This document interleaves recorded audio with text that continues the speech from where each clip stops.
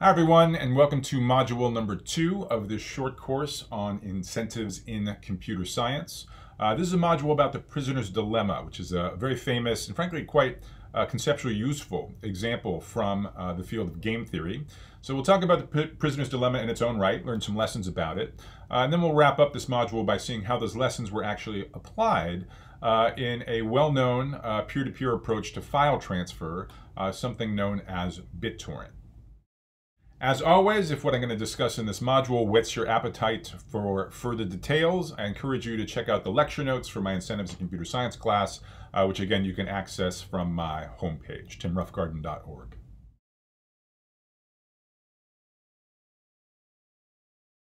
Let's now talk about a little bit about uh, game theory. So for us, game theory, we won't really study it formally. It'll show up more through examples.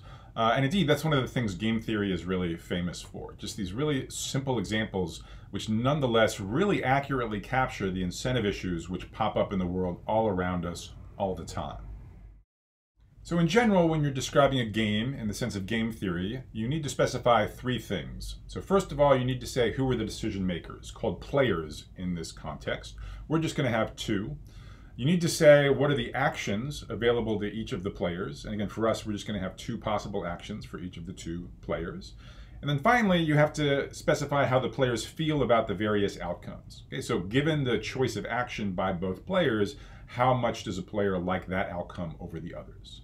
And we're going to measure this preference in terms of a, a numerical score called a payoff to the player. Concretely, I want to think about the following file transfer game. I'm calling it a file transfer game, you know, just sort of looking forward to our eventual uh, application in peer-to-peer -peer networks to file transfer. So as I said, we're going to have two players, and in computer science, when you have two players, it's uh, convention to refer to them as Alice and Bob, so that's what we'll do here. So two players, Alice and Bob, and the setup is uh, Alice has a file that Bob wants, and conversely, Bob has in, in his possession a different file which Alice wants. Now, each of the two players has to decide whether to be nice and upload the file that the other player wants or not, to not do that. So accordingly, as promised, each of the players has two different strategies, one where you upload and one where you don't upload. And we're going to be thinking about the two players as making these decisions simultaneously at the same time. So you don't know what the other player is going to do when you're making your decision.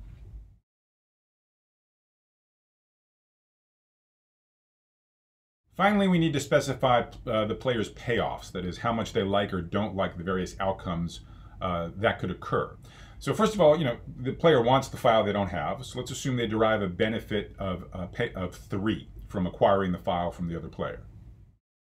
So that's something a player wants to see happen. Higher payoffs are better. So we'd love to get this benefit of three by downloading the file it wants uh, from the other player. Uh, as far as its own decision about whether to upload its file or not, well, you know, uploading carries a cost, right? You have limited bandwidth or maybe you pay for your bandwidth. So let's say the cost of performing an upload is one. Now we can summarize all of this information using what's called a payoff matrix. So this is just going to be a table, two-dimensional table. Uh, there'll be two rows and two columns corresponding to Alice's two strategies of upload or not and Bob's two strategies of upload or not. That'll give us four outcomes depending on what Alice and Bob decide to do. And then in each of those entries of this two by two grid, we're going to have a pair of numbers. The first one specifying the overall payoff to Alice, the second one specifying the overall payoff to Bob.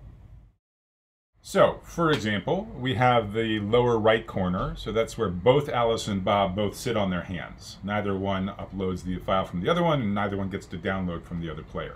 So they incur neither the cost nor the benefit. So both of the players just have a payoff of zero in the lower right corner. In the upper right corner, upper left corner, excuse me, that's where both of the players decide to upload. So each of them incurs that cost of one for the upload. On the other hand, they get that benefit of three from downloading the file they want from the other player. So overall, each of the players winds up with this payoff of two in the upper left corner. The upper right corner, that's kind of the worst case scenario for Alice. So Alice then actually incurs the cost uh, of uploading uh, her file, but doesn't get the benefit from downloading from Bob, because in this particular outcome, Bob chooses to not upload his file.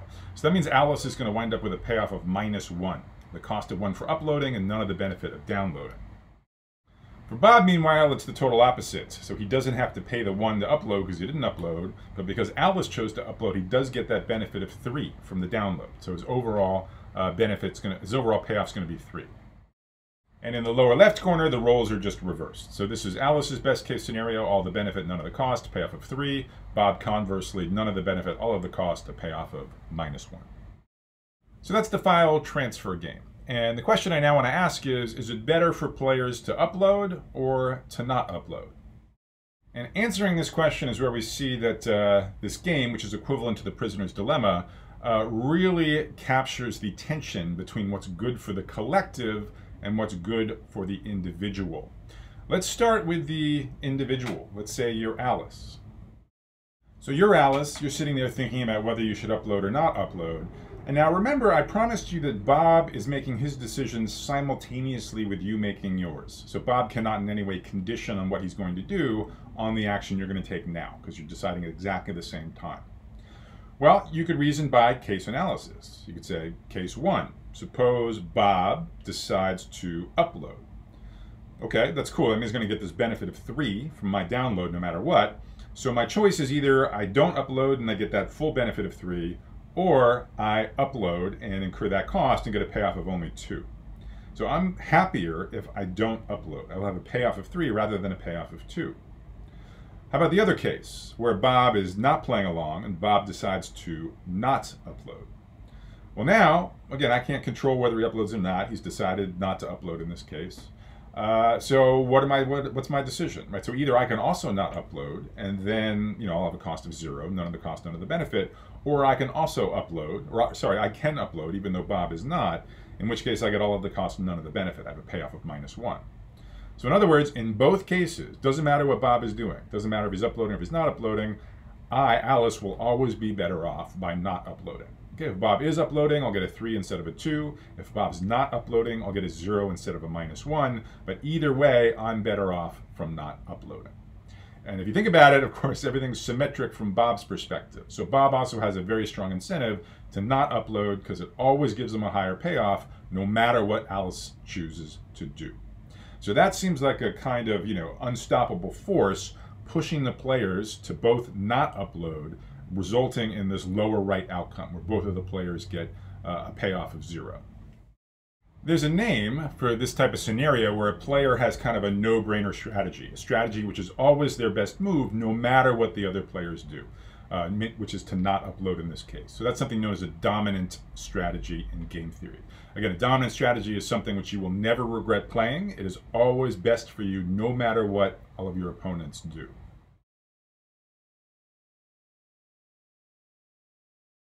Dominant strategies are pretty unusual in games that you find in the wild, right? So for example, if, you know, if you're playing chess or something like that, uh, certainly this chat strategy you want to be using is going to depend on the strategy that your opponent is using. So for different opponent strategies, to win, you're going to have to make use of different uh, strategies in response. Dominant strategy says you don't even have to think about what the other players are doing. It's just there's this one action that really sticks out is just what you always want to be doing. And again, in the basic prisoner's dilemma, that corresponds to this uh, not uploading. So for our question, is it better to upload or not? If we're thinking from the perspective of an individual, it seems like a pretty clear-cut case, right? You should not upload, you'll always wind up with a higher payoff. But what if we think about the collective? Right? So if we think about sort of the players jointly, is it better for them to upload or to not upload? Well, thinking about the collective, it's pretty clear the players are better off if both of them do upload then both of them will get that benefit of three. Yeah, they have to pay that cost of one, but still, it's, it's way outweighed by the benefit that they get.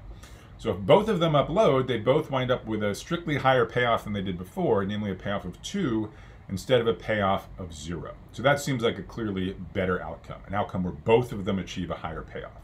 There's actually a name for that in, in economics. We would say that the upper left outcome, where they both get a payoff of two, we would say that that Pareto dominates the lower right outcome because every single player is better off in the upper left outcome than in the lower right outcome. So in some sense, it's hard to make any argument why you might possibly want the lower right outcome. If you can make everybody better off, why wouldn't you want to do it?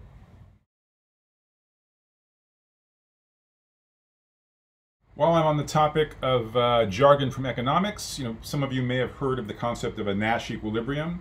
Uh, if any of you saw that film, Beautiful Mind, that came out in the 90s, Uh, you did not learn the correct definition of a Nash equilibrium from that film. Um, but in any case, this lower right uh, outcome, the 0-0, uh, where both players play their dominant strategies, that's a special case of a Nash equilibrium. Nash equilibrium is when neither player wants to change what they're doing given what the other player is doing. Dominant strategies, neither player wants to change no matter what the other players are doing. So that's a special case uh, of a Nash equilibrium. I've described this game in terms of file transfer, again, kind of looking ahead to the application of peer-to-peer -peer file transfer that we'll conclude this module with. Um, but actually, this game is completely equivalent to this famous example that I told you about, the prisoner's dilemma. The usual parable behind the uh, prisoner's dilemma is the following. So you, you imagine that two people are corralled by the police and accused of a crime. The police interrogate the two suspects separately and their strategy is to try to get each suspect to rat out the other one.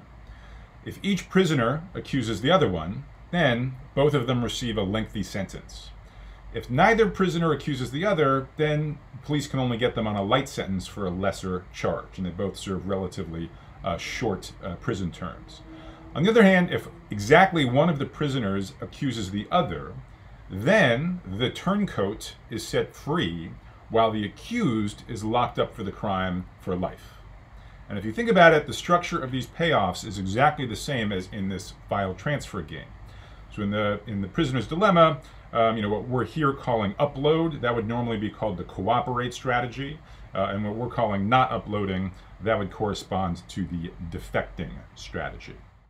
So the prisoner's dilemma really beautifully isolates uh, the essential conflict which can come up between, on the one hand, incentives for an individual, and on the other hand, what's best for a collective. Uh, and it really shows up all the time in real life, and it, it is a useful skill to be able to recognize it. And let me just give you one quick example. Uh, think about like doping in sports, like say in cycling, like during the Tour de France.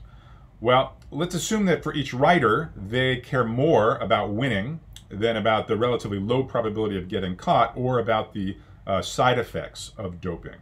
In that case, for each of the cyclists, it's a dominant strategy to go ahead and dope. Now, that leads to sort of an outcome where everybody's doping, whereas all of the cyclists would be better off if none of them doped, because you get basically the same results, race results, um, but on the other hand, you wouldn't have all of those nasty side effects. I'm sure if you think about it for just a few minutes, you'll be able to come up with other examples that you've seen in real life, maybe even, you know, in the last couple of days. Um, and you know, this prisoner's dilemma really highlights one of the strengths of game theory, which is its its amazing examples, uh, which on the one hand fit on a cocktail napkin, but on the other hand accurately capture the essence of incentive issues uh, that are ubiquitous in the real world.